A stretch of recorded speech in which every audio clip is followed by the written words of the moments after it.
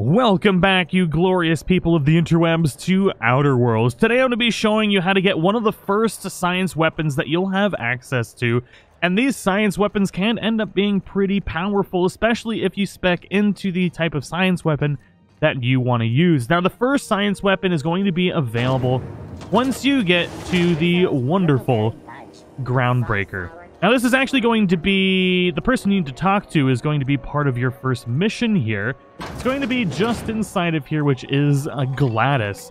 Now, you actually won't get a mission from Gladys, but unfortunately, I may or may not have murdered Gladys. Uh, we don't need to talk about it. It was just a mistake way back in the day. Um, but Gladys is murdered. Now, she does have something that you can purchase to be able to unlock this particular quest, but I'm pretty sure that we can get it without actually needing to purchase the item from Gladys because I know exactly where to go to get it because while I was exploring, I happened upon this. So uh, what we're going to do is we're going to go back to the entrance of the Groundbreaker. And we got to look for a specific room, which I believe is back here. Yes, it's the room with all of the beds here. And if you look in this room, there's this hole up here. And this is what piqued my curiosity.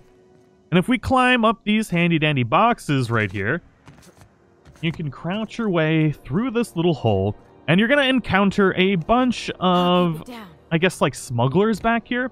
And you're going to have to murderize the bejesus out of these smugglers. So we're going to smack that guy. We're going to smack this. Oh, he died. He dead. And then... Oh, I wanted to use my gloop gun on you. I've got the gloop gun right here, which is another science weapon. This thing is absolutely amazing.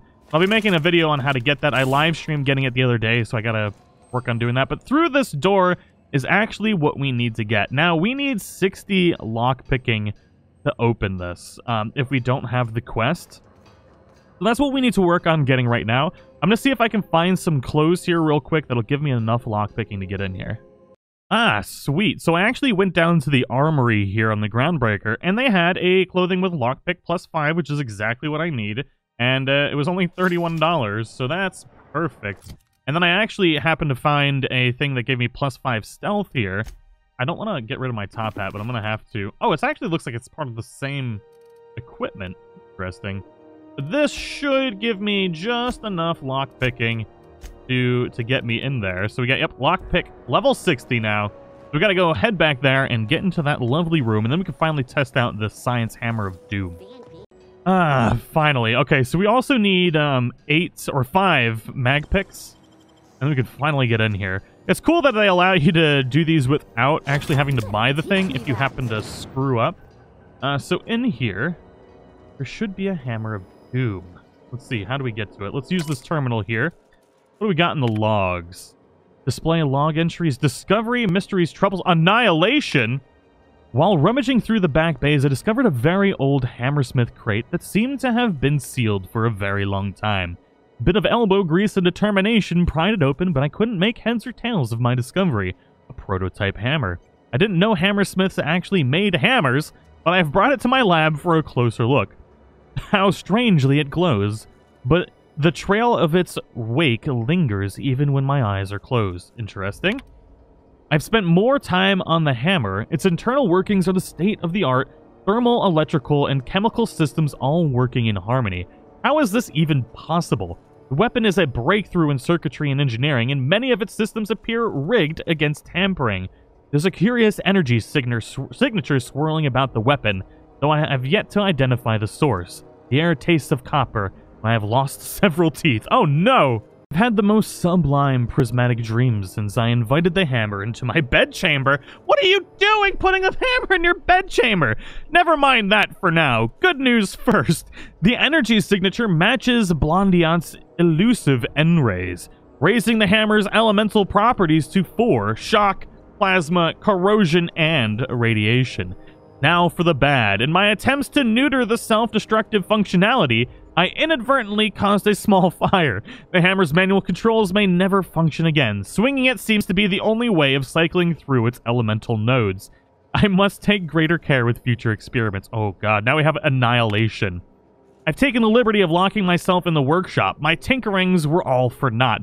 This is no prototype. I'm simply too flawed to recognize its perfections. The hammer is a lesson, a symbol. It whispers to me that disorder rules all things. But with a little ambition, we can harness that power. Only by inflicting chaos upon others can we transmute disorder into harmony. And that is a lesson Halcyon is not ready to hear. That got intense. So in this handy-dandy box right here is the prismatic hammer. This is exactly what you're looking for. I expected it to be somewhere like on display, but no, it's just in this little box. Grab this bad boy, and uh, we'll check exactly what it looks like. We can get to our weapons here. That actually kind of looks similar to the other hammers. Grab this bad boy. Does it have like a glow around it or anything? It's just big. It's just really, really big. The biggest hammer that there ever was. I need to put my top hat back on. We need to murder things. I want to level it up and see how much better it gets. And then the, also, there is a skill that you can use, or a perk rather, that's going to increase your science weapon damage by 50%. So if you are leveled up into something like I am with combat two-handed melee damage, you're going to do a ton of stuff if you're also leveled up into science too. So you can do a ton of damage with these science weapons if we get it all squared away right. So what we're going to do here quick is we're going to tinker with this and see if we can get it to the max level that we can. I think we can get it all the way up to level 20. That's what we're going to try and do. It's at, it's at level 7 now, and we have 72 damage on it. Interesting. This thing is extremely expensive to upgrade. Uh, I've already plowed through thousands of dollars, and now it's going to cost me $5,000 to get each, or only 5000 just to tinker beyond this point. And it's only at level 14, so it's 133 DPS. Damage per hit is 126 with an additional effect of knockdown. Um, but it's way less damage than everything else I have, but I'm wondering if my science skills will actually help improve that enough to make it worth using at least at this point in the time, like in the game. I should have gotten this earlier in the game because I'm quite a bit farther than the point where you would get this. Um, so if you want to get this and use it, I recommend getting it earlier in the game. Uh, but let's go find some people to pimp slap with it. So of course came out here to pimp slap stuff, and it seems that I've made everything extinct in the area already, and there's nothing to murder quite yet. Aha! Finally! Some things to murder. Let's see here. Should bam! 348 damage on one hit is not actually that bad. Oh, Okay. Really? Oh, God. Stop shooting poison at my booty! Ah! You know, surprisingly, it's doing about as much damage as my higher level items. And I'm, I'm assuming that's due to, you know, the increase in science stuff, because not only do we have the one character perk here, which increases science weapon damage by 50%, uh, we've also got skills which you can go to, which is tech and into science. Um, improves your weapon and armor in the workbench, but then we can also do plasma damage, shock damage, and science weapon effects, plus 15.7%.